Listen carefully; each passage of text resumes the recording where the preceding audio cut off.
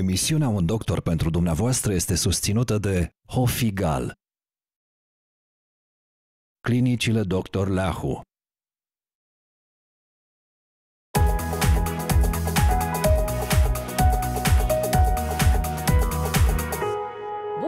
Suntem împreună la o nouă ediție Un Doctor pentru dumneavoastră în care vom vorbi despre bolile venoase și cum ne ajută vaccinurile anti-COVID-19 pentru a avea rezistență la noile tulpini dezvoltate de SARS-CoV-2. Pentru început stăm de vorbă cu doamna doctor Marina Dumitraș, medic primar chirurgie generală cu supra-specializare în flebologie și scleroterapie, cu competență în ecografie generală și chirurgie laparoscopică, doctor în medicină. Vă mulțumim că ați acceptat invitația noastră. Bună seara! Bine v-am găsit uh, români de pretutiden. Uh, sunt doctorița Dmitra și vom încerca să lămurim uh, atât cât uh, ne permite timpul, uh, să lămurim ce se întâmplă în boala cronică venoasă. Asta înseamnă cauze, simptome, limite și posibilități de tratament. După cum bine știm, boala cronică venoasă are mai multe stadii de evoluție, stadii care sunt în număr de șase. Boala cronică venoasă reprezintă o afectare a sistemelor venoase superficial și respectiv profund, în minutele următoare vom puncta care sunt cauzele principale care determină apariția acestei afecțiuni și dacă există simptome care anunță din timp că apare boala venoasă. Cauza principală o reprezintă bagajul genetic, adică determinismul genetic, care înseamnă, ascunde o structură alterată a fibrelor de colagen din structura endoteliului venos, adică a tunicilor pereților venoși foarte puțini pacienți, atunci când se adresează, când vin la un consult flebologic, știu că, de fapt, în spatele acestei boli cronice venoase se ascunde o structură alterată a fibrelor de colagen determinată genetic, care predispune acești pacienți la numeroase alte patologii cu potențial chirurgical, și anume uh, boala hemoroidală, pentru că este tot o boală cronică venoasă de fond, plexurile hemoroidale sunt tot niște plexuri venoase, iar uh, o altă posibilă patologie cu uh, potențial chirurgical de tratament o reprezintă patologia herniară. În peretele abdominal anterior se regăsesc aceleași uh, fibre de colagen cu o structură modificată, cu o structură alterată, cu o elasticitate scăzută, Uh, fapt care predispune acești pacienți la o patologie herniară de tipul hernii umbilicale sau hernii inghinale. Am vrut să lămurim toate aceste lucruri pentru că sunt puțini pacienți care știu de acest determinism genetic.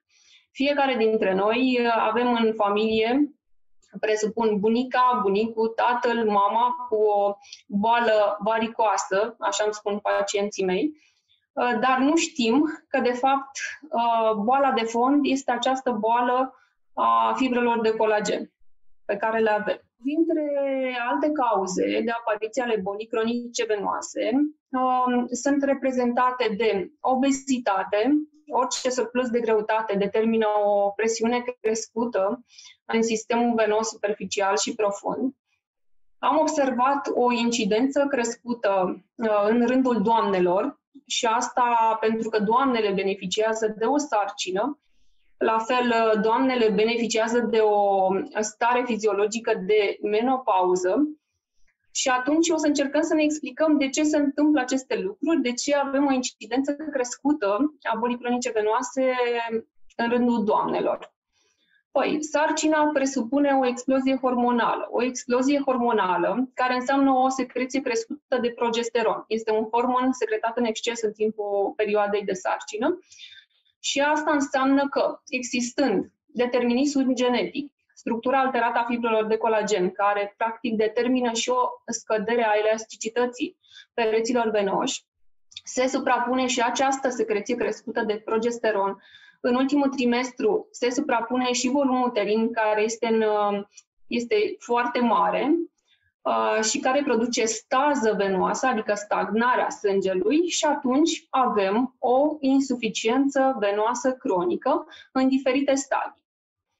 La fel în menopauză, știm că scade secreția de estrogeni și atunci uh, cele mai multe doamne au risc nu numai de uh, o afectare severă a pereților venoși, deci de apariția bolii cronice venoase sau de agravare, dacă exista această boală cronică venoasă uh, în antecedentele pacientei, dar um, se întâmplă și alte lucruri, și anume, um, prin faptul că scade această elasticitate vasculară și scade secreția de estrogeni, Uh, putem avea chiar o afectare severă. Adică putem avea chiar um, o stare de hipercoagulabilitate, adică un risc crescut de apariția cheagurilor de sânge, a trombozei venoase. Tromboză venoasă, care de altfel reprezintă o complicație a bolii cronice venoase.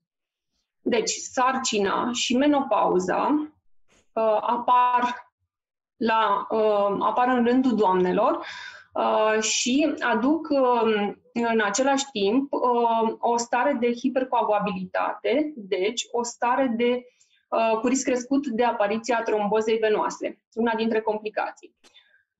Um, printre alte cauze, mai avem uh, fumatul excesiv, care practic scade presiunea în sistemul venos superficial și produce o stagnare a fluxului sanguin în pereții venoși și determină vasoconstricție sau avem în perioade, avem, ca să zic așa, niște fluctuații maximale sau minimale ale fluxului sanguin. Și anume, în perioada de iarnă avem vasoconstricție datorită frigului. Și atunci se produce un vasospas, se produce o stagnare a fluxului sanguin iar la pacienții cu insuficiență venoasă cronică severă, ne crește riscul de tromboză. La fel în perioada și de vară. Atunci avem un alt, flux, un alt gen de flux și anume avem de-a face cu procesele de vasodilatație, adică o creștere a fluxului sanguin. În condițiile în care există dilatații varicoase, um, aflate în stadiul, uh, începând cu stadiul 3, stadiile 3-6, atunci avem un risc crescut de a face aceste fenomene de tromboză uh, venoasă. Deci în perioadele de uh, răceală, în perioadele de frig uh, și în perioadele de vară, unde sunt temperaturi crescute, avem acest risc crescut la pacienții care au un antecedent de această boală cronică venoasă. Din nefericire, boala cronică venoasă, una dintre afecțiunile sistemului vascular, apare de la vârste din ce în ce mai tinere, indiferent de sex. Este important să aflăm cum apare această boală și care sunt mecanismele implicate. Am observat că pacienții vin în stadii avansate de boală cronică venoasă și sunt uh, marea majoritate am stat și m-am uitat pe ce operații de varice am avut uh, în ultimul an și am observat că este o incidență crescută a pacienților tineri, undeva în intervalul 30-40 de ani, care au venit la un consult inițial flebologic deja cu o tromboză venoasă, parțială ce drept, dar o tromboză venoasă. Uh, de obicei, lucrurile astea în anii trecuți le observam la pacienții mai în vârstă, adică undeva peste 60 de ani și care aveau și ceva comorbidități asociate, de tipul hipertensiune, fibrilație atrială, adică care predispuneau pacientul și la apariția cheagurilor de sânge. Această boală acționează în mod tăcut până la un moment în care se cronicizează și creează probleme grave, precum ruperea vaselor de sânge sau ulcerul varicos deschis, una dintre cele mai nedorite evoluții care de multe ori nu se mai poate trata. Ce complicații pot apăra dacă nu se intervine la timp sau tratamentul nu este dus până la capăt, ne va spune doamna doctor Marina Dumitraș. Atunci când avem de-a face cu astfel de pacienți, de primă intenție este să tratăm, nu să operăm în acel moment, în momentul în care există aceste chegulețe, pentru că riscăm să plece aceste chegulețe și uh, avem surpriza unui tromboembolism pulmonar. Asta înseamnă că îl vedem, îl reevaluăm pacientul prin ecografie Doppler venoasă, vedem uh, cât de mult obstruează aceste cheaguri din lumen vascular, adică din peretele vascular, din peretele venos, îi dăm un tratament anticoagulant și îl revedem după o perioadă de cel puțin o lună, îl reevaluăm în următoarele trei luni și numai în momentul în care avem o uh, stabilizare a acestor cheaguri, putem să-i uh, recomandăm, să-i oferim varianta de intervenție chirurgicală, adică de crosectomie și stripping safenian, dar și de flebectomie etajate, axate pe acele pachete varicoase trombozate, la, de la care nu avem așteptări să dispară acei trombi. Noi suntem foarte sinceri cu pacienții noștri. Am observat că în ultima perioadă vin și mai ales pacienți tineri cu patologie venoasă și chiar în stadii avansate. Stadiile 4, 5 și 6 sunt deja cu o boală cronică venoasă în stadii avansate. Ce înseamnă asta? Înseamnă un 4 care impune dermatită și exemă. Ce înseamnă asta? Înseamnă o, o pigmentare a pielii uh, și, uh, bineînțeles, cu prurit, cu mâncărimi la nivelul acelei zone hiperpigmentare. Un alt stadiu cu lipodermatoscleroză și atrofia albă, așa numim noi, adică cu o uh, depigmentare la nivelul pielii și deja în momentul în care ți intră un pacient uh, cu aceste manifestări cutanate în cabinet, deja știm că este într-un stadiu avansat de boală cronică venoasă. Mai există stadiu 5, care are un ulcer uh, varicos vindecat și un stadiu 6, în care avem de-a face cu un ulcer varicos activ. Pentru că asta nu v-am spus până acum, Riscul cel mai mare este de apariție, mai ales atunci când există aceste dilatații varicoase lipite la tegument și cu niște dilatații saciforme în vecinătate, avem riscul de a eroda tegumentul. Asta înseamnă că avem riscul de a face un ulcer varicos. Un ulcer varicos care se tratează extrem de greu. Un centimetru de piele având nevoie de o perioadă cam de o lună pentru a se, reputea, a se putea reepiteliza și asta cu ajutorul medicului, adică tratamente cu antiseptice, tratamente cu tot felul de soluții de uh, argint și, bineînțeles, cu toaletare zilnică și sub controlul și avizul medicului flebolog sau a medicului dermatolog. Medicina a evoluat extrem de mult, mai ales în categoria tratamentelor intervenționale minim-invazive. Să vedem ce metode de terapie chirurgicală se practică în prezent. Când uh, avem un pacient în cabinet, noi, uh, ca și medici flebologi, așa se numesc chirurgii care tratează și patologia venoasă, uh, trebuie să facem două lucruri. Primul lucru este să-l examinăm clinic, adică ce să facem? Să inspectăm Uh, picioarele pacientului și să ne asigurăm că știm ce leziuni vasculare are acest pacient. Și anume, putem avea uh, telangiectazii, adică firicele roșii sau violete, sunt niște firicele mici de circa un milimetru, care, pe care aproape că nu le vedem, sau care le deranjează pe doamne din punct de vedere estetic de cele mai multe ori. Avem venectazii, adică niște dilatații albastre de dimensiuni cuprinse între 1-3 mm și acestea deja sunt două stadii de boală cronică venoasă, stadiile 1 și 2. Din stadiul 3, deja um, atunci când întrebăm pacientul ce simptome are, ce acuzare, ce l-a dus la acest consult flebologic, aflăm că, de fapt, pacientul se plânge de apariția unor dilatații varicoase. Deja vorbim de dilatații varicoase. Ce înseamnă asta? Înseamnă niște uh, vene mai dilatate, lipite la tegument, de dimensiuni chiar de un centimetru, cu lacuri venoase în vecinătate, sunt sinuoase, tortuoase, ele și-au pierdut elasticitatea uh, pereților venoși și din cauza asta deja suntem în stadiu 3 de boală cronică venoasă. Însă nu ne bazăm doar pe examen clinic al pacientului, doar să-l întrebăm, să facem anamneză și doar să-l examinăm clinic, ci mai avem nevoie și de un examen numit ecografie Doppler venoasă. Care ce înseamnă? Înseamnă o hartă cum îmi place mie să-i spun, a sistemului venos superficial și profund. În sistemul venos profund putem afla, confirma sau infirma dacă avem tromboză, adică dacă avem cheaguri, iar în sistemul venos superficial este foarte important să aflăm dacă avem o insuficiență valvulară. Adică ce înseamnă asta? Înseamnă o, o insuficiență, o incompetență de închidere a unei valve. Cea mai frecvent uh, afectată este vena safenă internă. Este cea mai importantă venă a sistemului venos superficial, care asigură reîntoarcerea sângelui venos către corp. Și ea este cel mai frecvent afectată. Deci putem avea o incompetență valvulară, adică o deficiență de închidere, cu un reflux, adică cu o refluare a sângelui în jos, în loc să uh, curgă în circuitul normal, firesc, fiziologic, și putem avea un reflux între 1 și 3 uh, secunde. În funcție de acest reflux, noi practic putem să-i oferim pacientului diferite variante, diferite alternative de tratament.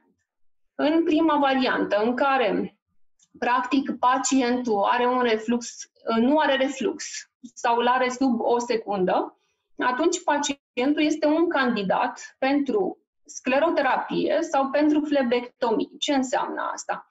Înseamnă că îi propunem pacientului în funcție de ce priorități are uh, și în funcție de ce avantaje și ce, ce rezultate se așteaptă să obțină, după aceste proceduri sau după acest tip de intervenție chirurgicală o variantă sau alta de tratament.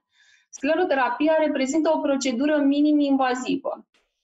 Ea presupune injecții cu agent sclerozant care determină un vasospasm, adică irită acea dilatație venoasă, dilatație venoasă care practic se sclerozează, se ramolește, suferă un proces inflamator și la un moment dat dispare. Dar asta presupune timp, presupune și costuri financiare, nu este un tratament, nu este o procedură minim-invazivă decontată de către serviciile de sănătate, ci trebuie practic decontată de către pacient într-un procent de 100%.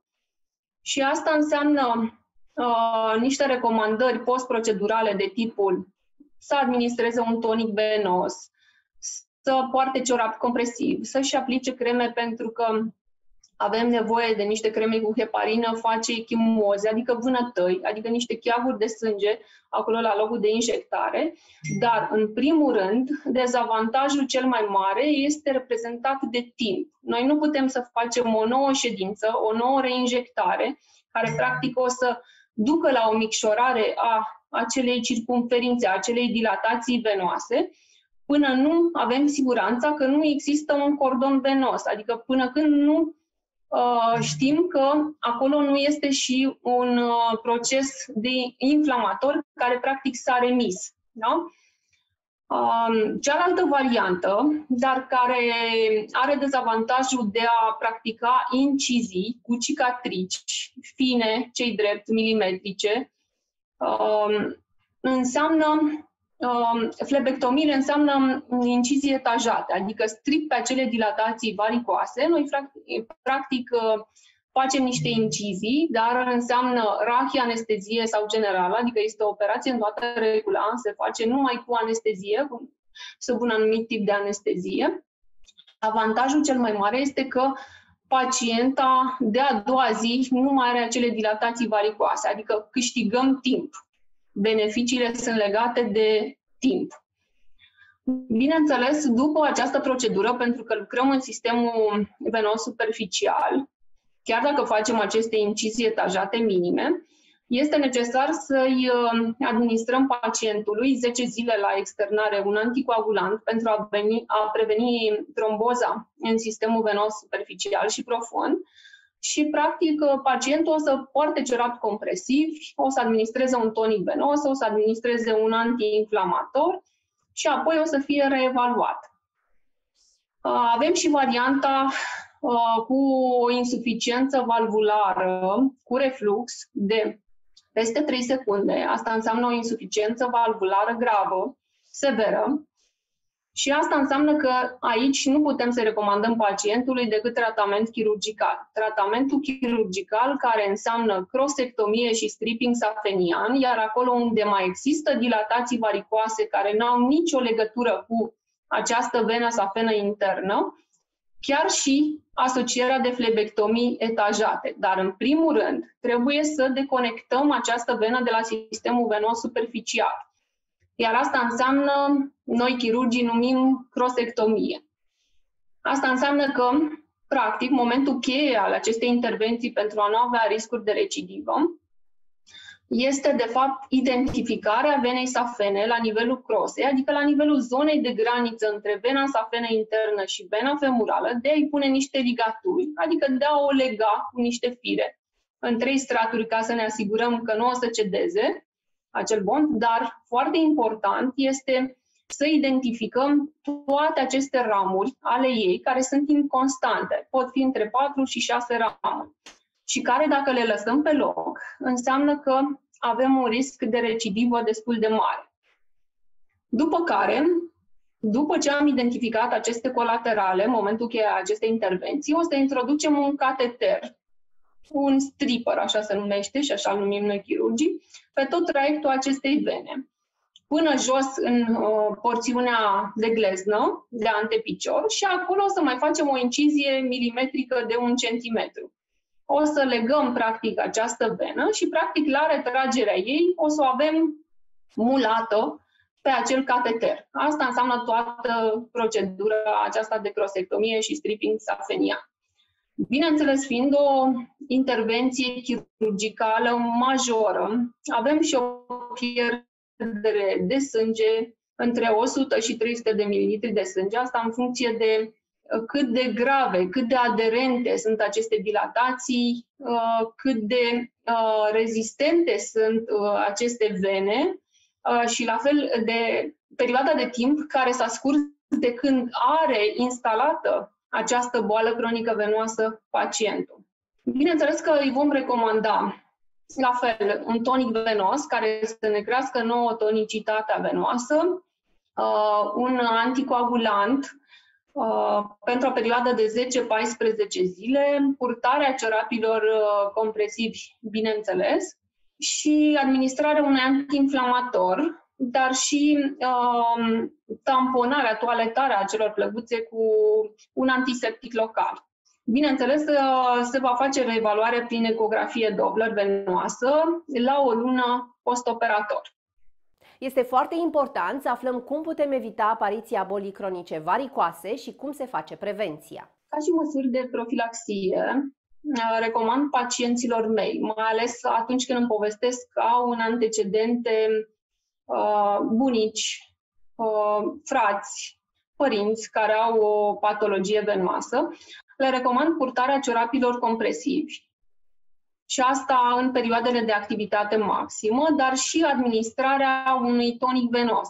Uh, recomand cu mare căldură extractele naturiste, extractele de castan sub orice formă, picături, capsule, în asociere cu vitamina C un gram 10 zile pe lună. Ne asigură o creștere a tonicității și a elasticității pereților venoși. La fel, cei care au o boală cronică venoasă în familială, heredocolaterală, cum o numim noi, le recomand să-și facă o ecografie Doppler venoasă neapărat, pornim de la acel moment zero și, practic, uh, dacă se întâmplă ceva între timp, dacă observă vreo leziune vasculară nou apărută la nivelul membrelor pelvine, atunci o reevaluare prin ecografie Doppler. Ca și concluzii, este de spus și eu îmi sfătuiesc pacienții mei să vină atunci când au cea mai mică leziune vasculară tegumentară pe care o observă sau la cea mai mică, la cel mai mic semn de tromboză, uh, la cel mai mic semn de durere, de edem la nivelul gleznei, să vină la un consult de flebologie.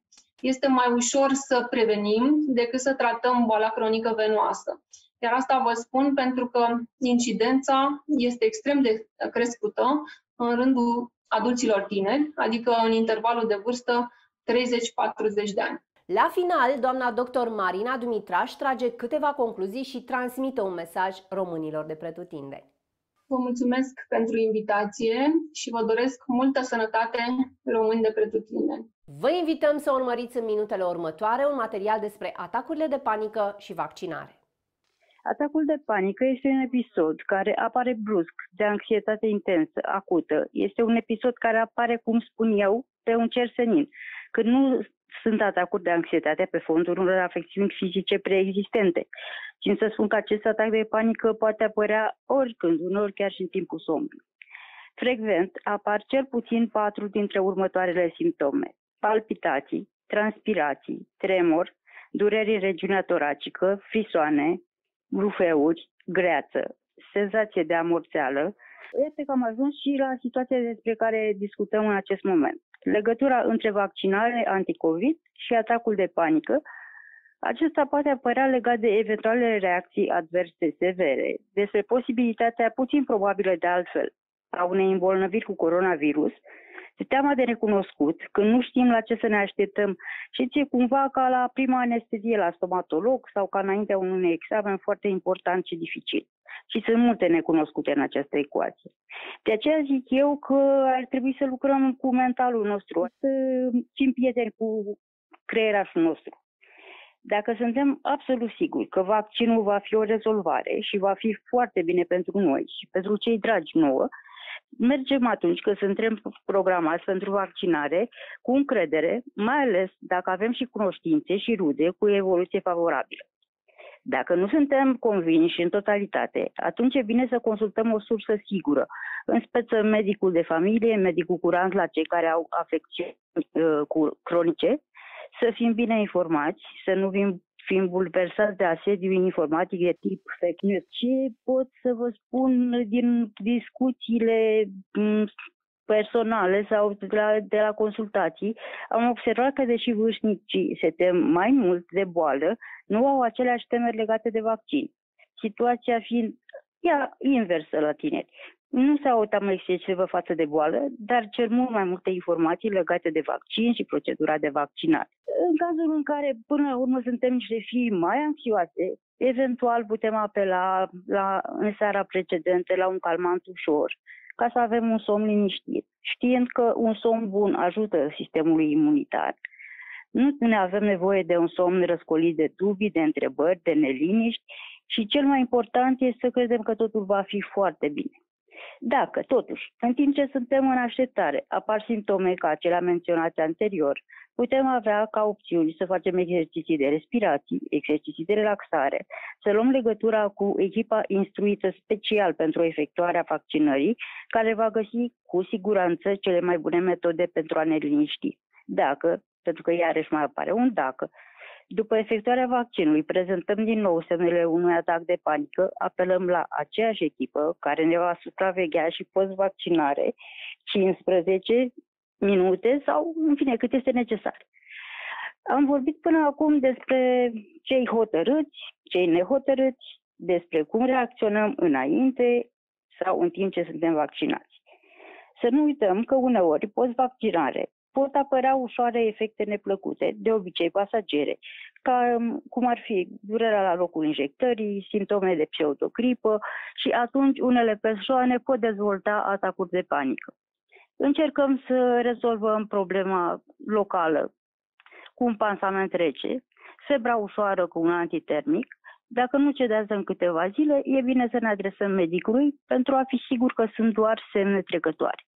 Pentru noi, ca oameni diferiți, cu psihic diferit, e necesar să nu ne speriem, să gândim pozitiv, să ne comutăm atenția către altceva, de preferat către evenimente pozitive din viața noastră să comunicăm cu rude sau prieteni care eventual au trecut prin aceleași stări și acum sunt bine sau chiar nu au avut nici cea mai mică reacție adversă, să ne încurajăm astfel sau pur și simplu să discutăm despre absolut orice și vom trece mai ușor peste atacul de panică. Și cu siguranță ă, trebuie să ne construim visuri pe care le vom putea împlini cu siguranță. Vom putea din nou să călătorim, să ne strângem în brațe oamenii dragi, să reintrăm în viața normală. În partea a doua a emisiunii vom afla de la domnul profesor dr. Mihai Neta, cercetător cu specializare în medicină internă și boli infecțioase, profesor de medicină internă experimentală la Universitatea Radboud din Olanda, cum putem obține imunitate în această perioadă de expunere la atacul virusului SARS-CoV-2. Ne bucurăm de revenirea domnului profesor la emisiunea noastră și suntem recunoscători că a acceptat invitația.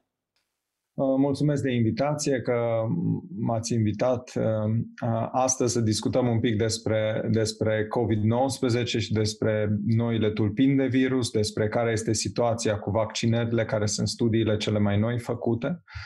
Uh, după cum știm, Acum împlinim aproximativ un an de când virusul a ajuns practic în Europa și a început să cauzeze uh, probleme mari la nivelul uh, populației, cu îmbolnăviri multe, cu uh, multă lume bolnavă și internată în spitale, din păcate cu unii dintre, um, dintre părinții noștri, bunicii noștri, familiile noastre care au și decedat. Deci putem acum să vedem cam care, cam care este la nivel mare situația um, la noi în țară, dar în Europa și în lume în general. După cum vedem, din păcate, uh, noi nu avem ca și populație niciun fel de imunitate sau cel puțin nu am avut acum un an împotriva acestui nou virus, SARS-CoV-2, și aceasta este cauza cea mai importantă și cea mai mare pentru care virusul a reușit să se răspândească și reușește încă să se răspândească atât de puternic în, la nivelul populației.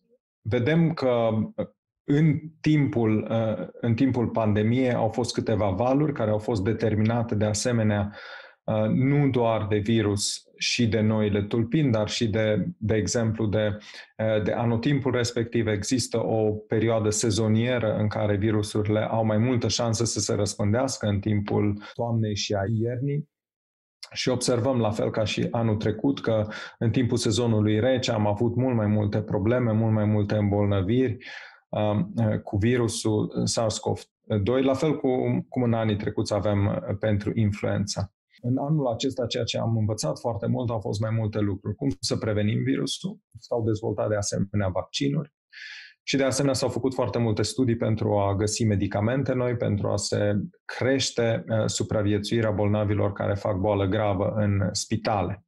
Au apărut mai multe tipuri de vaccin create în țări diferite, care ne pun deja în dificultatea alegerii unuia dintre ele. Să lămurim diferențele de producere, care se dovedește cel mai eficace și ce recomandă oamenilor din întreaga lume. În ceea ce privește vaccinurile, Ehm, s-a, s-a început de la începutul pandemiei eh, foarte rapid cu dezvoltarea unor vac- vaccinuri noi și am reușit, și aici vorbesc de întreaga, întreaga eh, societate academică și medicală și de asemenea de industria farmaceutică să se producă un număr foarte mare, după părerea mea, de vaccinuri deja de succes, ehm, numai, numai uh, în vestul Europei și în Statele Unite au fost dezvoltate deja patru vaccinuri de succes și sunt încă câteva în, în curs de dezvoltare. De asemenea, uh, uh, Rusia a dezvoltat un vaccin, China a dezvoltat și ea două vaccinuri care se pare că că sunt efective, deci totuși omenirea este o, într-o situație mult mai bună acum după, după un an. De asemenea, au fost uh, inițiate studii care încă merg mai departe, rezultatele finale nu au fost încă obținute, uh, privind un număr de vaccinuri, uh, să zic, nespecifice pentru SARS-CoV-2, dar care ar putea avea, uh, avea efecte benefice. Unul din vaccinurile care, este, care a fost studiat încă de la început, care pe baza datelor epidemiologice ar putea să aibă un efect pozitiv este vaccinul împotriva tuberculozei, BCG. Sunt câteva studii mari care încă sunt la nivel mondial, care continuă și care speră să aducă răspunsuri către, către vară fie pentru a reduce numărul de infecții, fie pentru a reduce severitatea infecției. Acesta este unul din ele, un, uh, un alt uh, tip de vaccin care este de asemenea studiat în două studii este vaccinul contra pojarului, um, care și el este investigat și de asemenea sunt câteva date foarte interesante epidemiologice privind vaccinarea contra gripei. Se pare că vaccinul antigripal, în mai multe studii în Statele Unite, în Brazilia, în Italia, și la noi în Olanda, în acest moment se pare că este asociat cu o Um, cu o incidență mai scăzută a infecției cu uh, SARS-CoV-2 și de asemenea cu o severitate mai scăzută a, a infecției. Deci uh, se pare că uh, inclusiv vaccinarea antigripală care s-a făcut în mai multe țări în timpul iernii probabil a avut un efect benefic. În plus, față de aceste, față de aceste vaccinuri nespecifice, bineînțeles, în momentul acesta avem mai multe tipuri de vaccinuri specifice pentru uh, COVID-19. Avem două vaccinuri cu ARN mesager, uh, cel de la Pfizer, BioNTech și cel de la Moderna și două, uh, două vaccinuri bazate pe pe vectori adenovirali, um, cel vaccinul de la AstraZeneca și vaccinul de la Johnson Johnson. Um, ca și efectivitate, toate sunt importante și toate lucrează, trebuie spus de la început. Um, se pare că poate vaccinurile de la Pfizer și de la Moderna sunt ceva mai efective pentru infecțiile ușoare, dar pentru infecțiile grave, practic toate cele patru vaccinuri au, au o protecție aproape completă, deci aproape complet este redus numărul infecțiilor grave. Dacă infecții ușoare mai rămân uh, câteva, între 10%, 15% cu Moderna și Pfizer și poate 25-30% cu Johnson Johnson și, uh, și AstraZeneca, ceea ce este foarte important este că, în special, uh, infecțiile foarte grave și infecțiile periculoase care pot duce la deces sunt aproape complet eliminate de, de toate cele patru vaccinuri. În plus față de aceasta, uh, trebuie spus, uh, um, se pare că efecte destul de bune au și virusurile uh, fabricate în Rusia și în China, care din cauza, mai ales din cauza producției în acest moment, um, sunt mai puțin folosite și, bineînțeles, um, este o anumită împărțire, să zic, la nivel geografic, fiecare dintre aceste vaccinuri în care în care din țări se, se administrează. Problema cea mai mare cu vaccinurile în acest moment, așa cum știm cu toții, este producția și distribuția, fiindcă este un număr atât de mare de persoane care trebuie vaccinate încât, încât producția nu face încă față. Ce este de asemenea foarte important este și că toate cele patru vaccinuri sunt, sunt foarte sigure, au, au puține efecte secundare cel puțin puține efecte secundare grave. Bineînțeles, multă lume are un pic de uh, durere la nivelul uh, vaccinului, anumiți oameni fac febră uh, pentru una, două zile, uh, efecte uh, locale alergice se întâmplă la, la unii dintre cei care primesc vaccinul, dar toate aceste efecte secundare, din fericire, până acum uh, uh, sunt, sunt ușoare, trec după una, două zile, se pot trata, de exemplu, cu medicamente antialergice și așa mai departe. Deci acesta este un lucru, un lucru foarte bun. Ca orice virus și SARS-CoV-2 suferă mutații genomice și apar astfel tulpini noi, ca în cazul virusului gripal. Să enumerăm mutațiile noului coronavirus și să aflăm dacă sunt contagioase și produc boala în mod grav. Bineînțeles, unul din, din lucrurile care ne-au speriat uh, foarte mult în, care, în momentul în care au apărut au fost anumite noi, uh, noi variante ale virusului, noi tulpini ale virusului, uh, precum tulpina care a apărut în Marea Britanie, tulpina care a apărut în, în um, Africa de Sud, o tulpină care acum se răspândește în Brazilia, se pare că anumite mutații din virus care sunt responsabile pentru noua tulpină din Brazilia au apărut independent, inclusiv în, în Statele Unite. Deci sunt mai multe tulpini în acest moment ale virusului care se răspândesc. În acest moment, problema cea mai mare a noilor tulpini este că sunt mai infecțioase. De fapt, astfel evoluează virusul, practic, în a ne infecta mai ușor. Aceste tulpini nu sunt în principiu Uh, până acum, din câte am putut observa în studiile făcute, mai periculoase, mai, uh, care se ducă la mortalitate mai mare decât alte tulpini, sunt cam tot atât, uh, ca, duc la o boală tot atât uh, de serioasă uh, uh, ca și tulpina inițială. dar se pot răspândi mai repede. Deci de acolo vine pericolul lor, să zicem, fiindcă se răspândesc mai repede în populație. Um, am stat foarte mult să ne gândim și s-a studiat foarte mult dacă vaccinurile și o boală anterioară uh, pot proteja împotriva, împotriva acestor tulpini uh, și, în general, concluzia este că da, în principiu uh, protejează. Unele dintre vaccinuri, de exemplu, Uh, vaccinul de la AstraZeneca se pare că este puțin mai, uh, ceva mai puțin efectiv față de tulpina din Africa de Sud, de exemplu, um, dar cele de la Moderna și, și Pfizer se pare că lucrează bine și cel de la Johnson Johnson. Um, deci, în general, chiar, pentru, chiar și pentru noile tulpini, se pare că vaccinurile sunt efective și, din nou, în special împotriva bolilor grave. Uh, vor mai fi, cu siguranță, boli ușoare, Uh, dar împotriva bolilor grave se pare că uh, vaccinurile protejează. În ceea ce privește, de exemplu, uh, tulpina din Africa de Sud, se pare că această tulpină este ceva mai mult modificată față de, față de alte tulpini și de tulpina inițială a virusului și se pare că poate cauza uh, Uh, cauza totuși mai multe boli, inclusiv la cei care au făcut deja uh, COVID-19. Deci aceea este o tulpină care s-a modificat îndeajuns de mult încât să, uh, să poată infecta o, o anumită proporție, se pare 30-40% poate din, din cei care au făcut uh, COVID-19. Nu înseamnă însă că, că acei, uh, acei oameni vor face tot atâta de gravă uh, boala, dar se pare că acea tulpină din Africa de Sud are capacitatea să, să infecteze și o anumită minoritate din cei care au făcut înainte infecția. Totuși, ceea ce este foarte important și de aceea este foarte important ca lumea să se vaccineze, fiindcă în momentul în care există mai puțini oameni care se pot infecta și șansa virusului să dezvolte noi tulpini, să dezvolte rezistență la vaccinuri și așa mai departe este mult mai mică. Un virus poate să evolueze, poate să se schimbe, poate forma tulpini noi în momentul în care se poate răspândi în tot, tot mai, într-un număr tot mai mare de populație.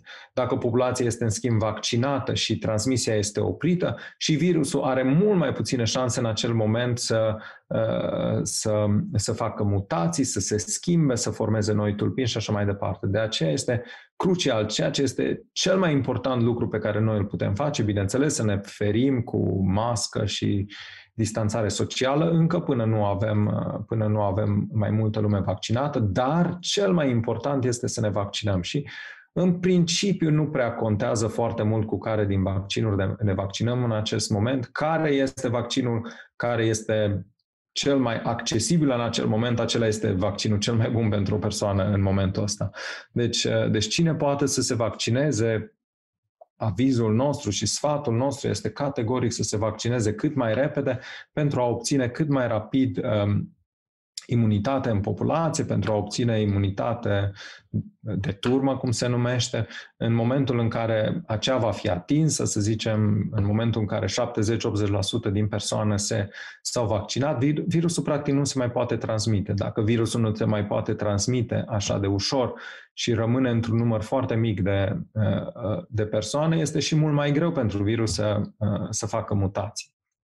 Dacă, în schimb, virusul rămâne endemic și se răspundește foarte ușor în populație, este mult mai ușor și pentru virus să facă mutații și să apară uh, tulpini noi.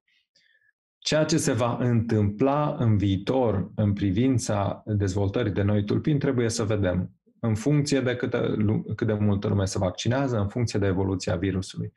Nu este exclus, este chiar foarte, foarte posibil ca totuși virusul să, uh, să aibă mutații și în fiecare an uh, să avem nevoie uh, de o nouă vaccinare cu, cu vaccin anti-SARS-CoV-2, așa cum avem nevoie și de vaccinul antigripal, de fapt. Deci este foarte bine posibil, de exemplu, să, ca în viitor să trebuiască să facem în toamnă, la începutul toamnei, să facem atât vaccinul antigripal cât și vaccinul anti-COVID. Dar uh, mesajul meu categoric pentru toată lumea este ca să se vaccineze și vaccinurile sunt sigure, sunt cu foarte puține efecte secundare uh, severe, practic aproape inexistente. Efectele secundare care există într-o anumită minoritate din, din oameni sunt de obicei foarte, uh, foarte ușoare, care trec repede și nu lasă urme uh, în urma lor. Deci, uh, acesta este uh, foarte important important de spus. Se vorbește de medicamente care pot trata COVID-19, cum ar fi cele din Israel. Oamenii sunt interesați să afle care sunt efectele lor asupra organismului uman. În acest moment nu avem medicamente care să poată înlocui vaccinul, practic. Nu există niciun medicament care să prevină infecția. Uh, se pare că sunt anumite uh, studii și sunt anumite uh, produse care, care Um, diversi cercetători încearcă să le, uh, să le dezvolte, ca de exemplu anumite uh, spray-uri nazale care să omoare majoritatea virusului, care să, care să poată fi administrate, de exemplu, dacă suntem într-o uh, în contact la un moment dat cu cineva care ar putea avea virusul sau suntem într-o aglomerație unde poate fi periculos de a ne infecta. Și aceste studii se fac în momentul acesta, deci trebuie să vedem cât de mult succes vor avea. Uh, dar în acest moment uh, uh, nu putem face, nu putem să ne protejăm altfel decât prin măsurile de distanțare socială, purtarea măștii, să ne spălăm pe mâini și, foarte important, bineînțeles, așa cum am spus, să ne vaccinăm. Medicamente în acest moment nu avem, avem anumite medicamente Uh, care pot să reducă boala, uh, medicamente antivirale, remdesivir, care trebuie administrat imediat după ce se uh, cineva are simptome și are diagnostic pozitiv de, de COVID-19. Înainte nu ajută, fiindcă nu are ce să omoare. Deci remdesivir omoară virusul, dar dacă înainte nu suntem infectați, nu are ce să omoare și el nu poate să-și exercite, exercite efectul pe lungă durată. Uh, de asemenea, avem medicamente pentru cei care, din păcate, fac boli mai grave. Avem uh, uh, dexametazon, steroizi, avem anticorpi monoclonali care să, să moduleze în sistemul imun, apărarea imună a organismului, în așa fel încât oamenii să, să aibă un prognostic mai bun. Dar, pentru prevenire, crucial este vaccinul. Atenție! Persoanele care doresc să se vaccineze să evite vaccinarea atunci când organismul lor este infectat viral sau bacterian. Invitatul nostru ne va vorbi despre contraindicații privind vaccinarea. Ce este într-adevăr ceea ce se uh, sfătuiesc oamenii înainte să se vaccineze, în momentul în care avem o anumită infecție la un moment dat sau avem febră, acest, a, acel lucru este o contraindicație uh, contra, contra vaccinării. Din ce cauză? Din cauza că nu se știe care poate fi interacția dintre o anumită infecție și, și vaccinare. Deci, în principiu, noi trebuie să avem grijă în momentul când ne vaccinăm să nu avem o infecție și să nu avem uh, febră. Dacă acest lucru se întâmplă, putem aștepta până trece febra, până ne facem bine. Dacă suntem două, trei zile fără simptome, în acel moment uh, se poate face vaccinarea. Motivul pentru, această, uh, pentru acest sfat este că pot exista teoretic, nu s-a demonstrat, deci poate că nu sunt, dar teoretic ar putea exista anumite interacțiuni între între o infecție și un vaccin, care poate duce fie la inactivarea vaccinului, de exemplu, să nu mai putem, uh, uh, să nu mai putem obține uh, protecția necesară, pe de o parte, sau pot fi inclusiv interacțiuni imune care să ducă la o reacție mai puternică contra vaccinului. Deci, din aceste considerente teoretice, sfatul este să nu se facă vaccinare în momentul în care cineva are o anumită infecție sau o febră. În, în, ultima, în ultima perioadă, în ultimele 3-4 luni, am observat pe de altă parte, însă că și numărul general al infecțiilor virale a scăzut din cauza că măsurile de lockdown care s-au luat în diferite țări au avut succes nu numai împotriva uh, uh, COVID-19, ci și împotriva altor infecții. De exemplu, noi, în spitalul nostru, de fapt în Olanda, în acest an, în toată țara, nu a fost încă nici un bolnav internat cu, uh, cu gripă. Deci gripa, practic, anul acesta a fost aproape inexistentă în Olanda uh, din cauza că, uh, că măsurile de, de distanțare socială au fost foarte efective și împotriva gripei.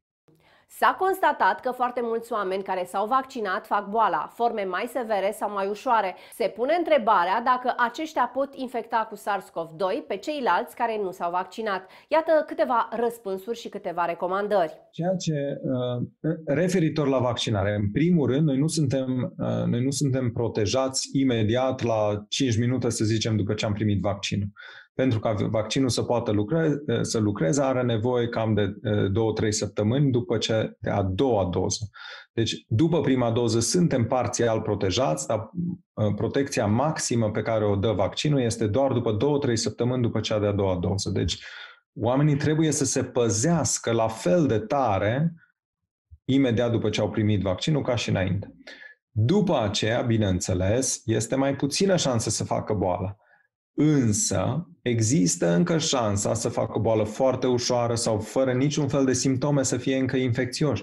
Deci pentru a ne proteja pe ce, pentru a-i proteja pe ceilalți, fiindcă cineva care e vaccinat poate că are vaccinul, nu face boala, fiindcă, fiindcă este protejat de vaccin, dar poate să dea, poate să dea virusul la, la altcineva.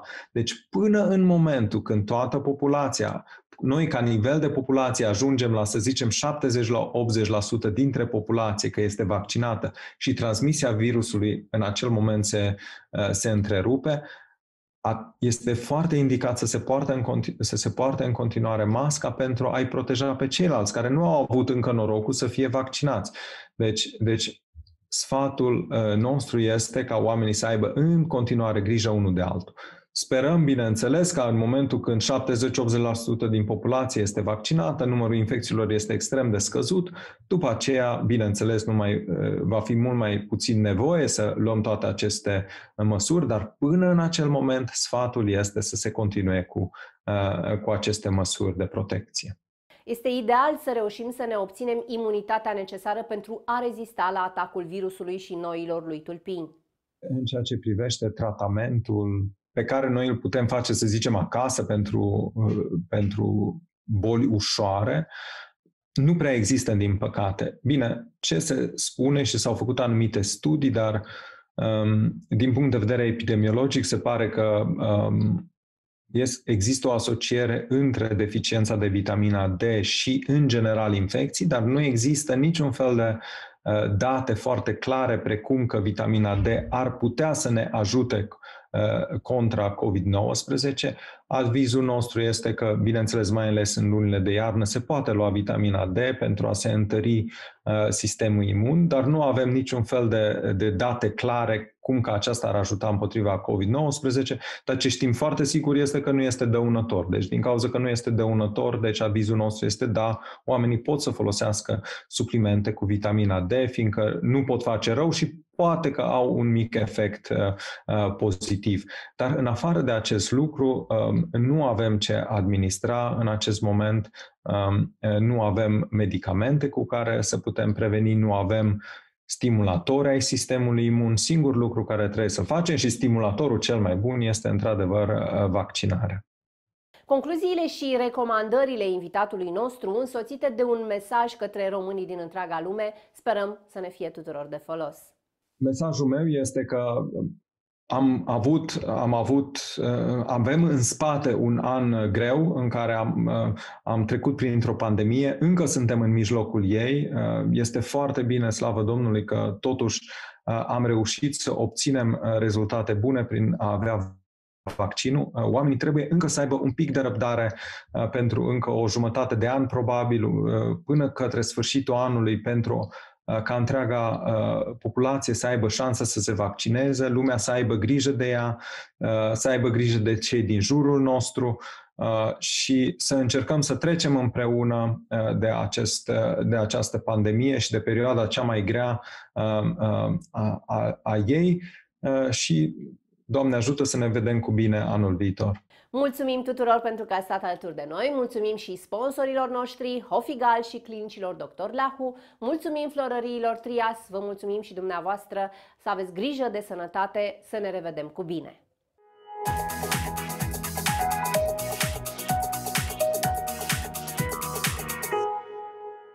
Emisiunea Un Doctor pentru dumneavoastră este susținută de Hofigal. Clinicile Dr. Lahu